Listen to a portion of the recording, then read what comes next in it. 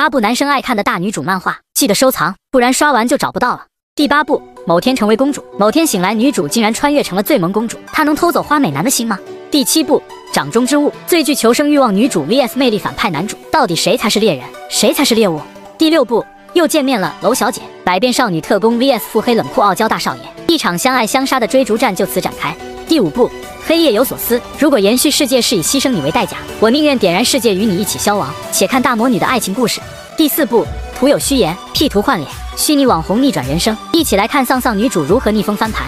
第三部八十一道超纲题，末日降临，幸存人类竟然被一款名为八十一道送命题的 APP 所支配。且看学霸女主的高能之旅。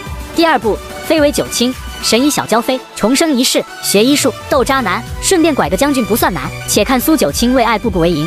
第一部吾皇在上，看了二十多遍都不觉得腻的大女主，看倒霉少女如何一路开挂成为后宫之主。那么你们还知道哪些大女主的漫画呢？